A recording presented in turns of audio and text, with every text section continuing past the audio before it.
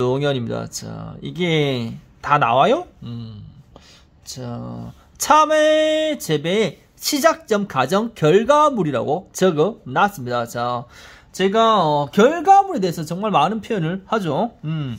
항상 이 흐름이 존재하는 거니까 참외 재배의 결과물은 누가 뭐래도 이제 10m 하우스에 400에서 500박스 이게 결과물입니다. 자, 지금 현재 11m, 12m는 더 갑니다. 11m 중에 정말 많다는 케이스가 700에서 800개를 땄대요. Wow. 그럼 12m는 더 가야 됩니다. 이건 진짜 1000박스를 능가해야 된다. 이렇게 보면 됩니다.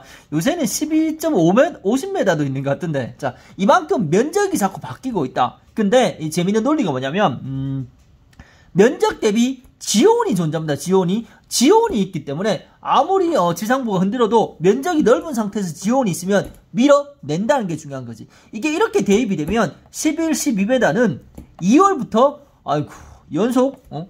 착가가 되지 않느냐. 여기까지도 어, 내다볼 수 있는 겁니다. 자, 이분들은 2, 3월 달에 이렇게 되면 100박스가 아닙니다. 이분들은 150, 200박스까지도 딸 수 있다. 이렇게 보면 돼. 자, 아무쪼록 어, 수량과 고미량가 이게 항상 결과물이다. 이렇게 표현을 하고 싶습니다. 자, 이 결과물을 좀 더 더 높일 수 있는 방법이 뭐냐? 이게 결국은 이 시작점입니다. 시작점. 이걸 다른 말로 입지 조건 하면 되겠지. 어, 내가 하우스를 선택했다. 그 선택 여하에 따라 1조 태양이 얼마나 어, 잘 흘러가느냐. 그리고 이제 득수 자동으로 어, 토양이 물을 맞춰주는 거지. 그리고 장풍 바람을 잡아주는 거지. 이렇게 되면 어, 농사가 좀 더 더 쉽게 됩니다. 이게 저는 정말 중요한 이제 입지 조건이다 이렇게 생각해요. 그리고 기농인 10명 중에 자 이런 좋은 조건을 어, 선택하는 분들이 한두 분 계시대요. 그럼 그분들은 농사가 잘 되는 거지. 잘 된다는 개념은 한동에 1200이 첫 해에 빵 터진다는 거지.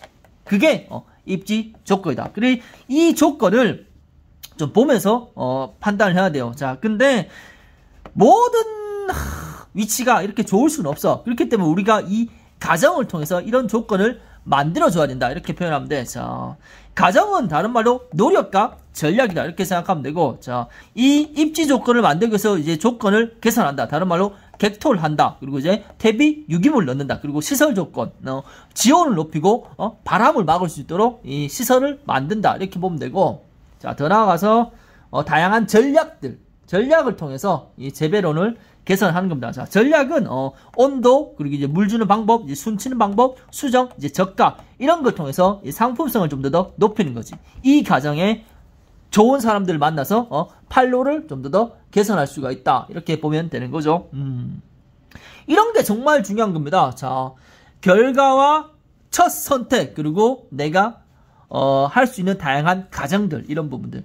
그리고 태어날 때부터 어, 금수저다 이거지. 어, 그러면 이 가정이 좀더더 쉽겠죠. 이런 느낌이지. 음, 우리 어, 어떻게 하면 음, 내 이 결과물을 높일 수 있을까? 이거를 저는 농민들이 좀더더 많이 선택을 어, 생각을 했으면 좋겠어요. 자, 그러려면 이 시작점과 이 모든 과정이 다 필요하다 이런 얘기를 하고 싶은 겁니다. 음, 이 1조는 아무리 내가 어, 노력을 해도 참 어려운 게 어, 산끈일이 진다. 뭐 이런 부분이 존재하기 때문에 그리고 1조라는 부분은 정말 천혜의 조건이다 이렇게 표현할 수가 있는 겁니다. 자, 이해가 되죠? 자.